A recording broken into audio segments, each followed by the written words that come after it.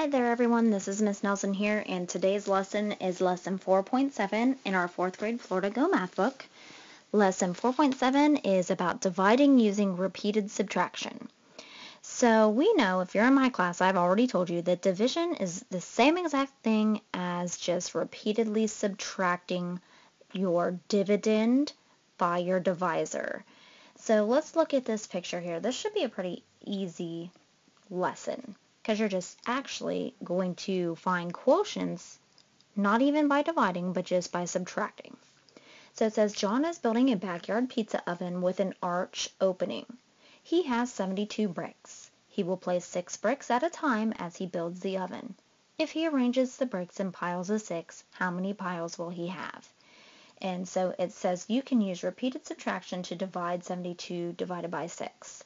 So we have the problem 72 divided by 6. 72 is our dividend, 6 is our divisor. We want to find the quotient without dividing. We want to find the quotient by subtracting. So we know that what we can do to do that is use repeated subtraction. Repeatedly subtracting 6 from 72 until we get down to 0. So every time we're going to start at 72 and subtract 6 and then whatever that answer is, subtract 6. Whatever that answer is, subtract 6. Whatever that answer is, subtract 6 until we get all the way down to 0. So we'll just have to count how many times we had to subtract 6 to find the quotient.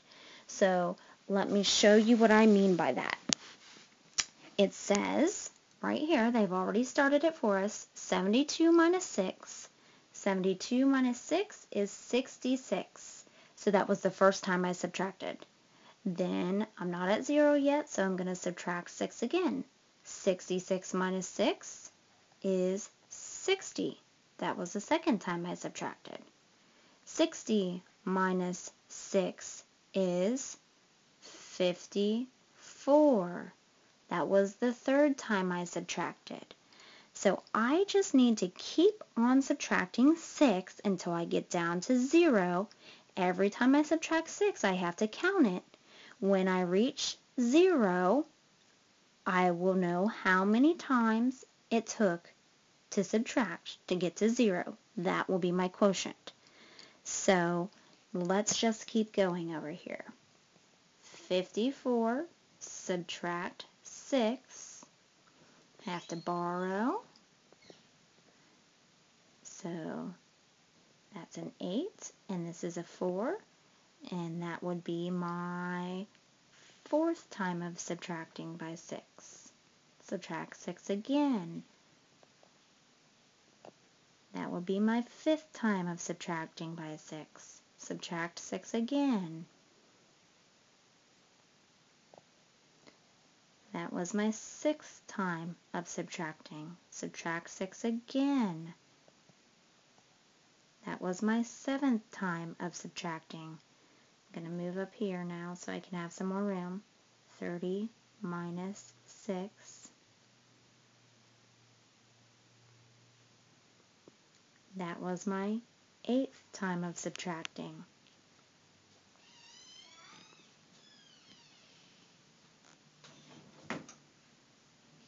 That was my ninth time of subtracting.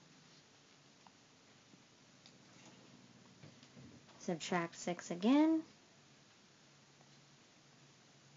Tenth time of subtracting.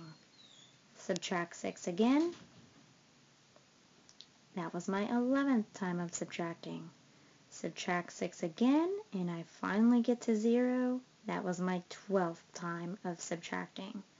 So if I go over here and I want to answer C, can I reach 0 evenly? Yeah, I landed perfectly at 0. So yes. I can. I landed perfectly at zero. So count the number of times I subtracted the six counters. That was 12 times. So my quotient, or my answer, to 72 divided by 6 is 12. And that's how you use repeated subtraction to divide. If you're in my class, I want you to mark down the password of football in your planner, so I know you watched the video. And if you have any questions, just feel free to leave me a message. Thanks.